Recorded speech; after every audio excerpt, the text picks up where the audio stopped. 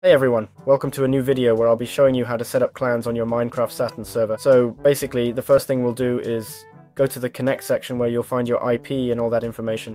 What we're going to do next is change the software, okay?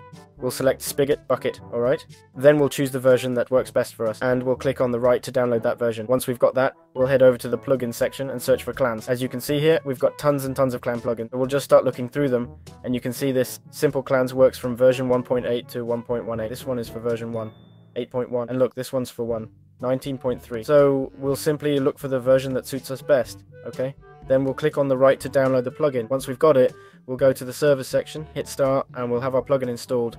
Thanks so much for watching this video, and I'll see you in future ones. Bye bye!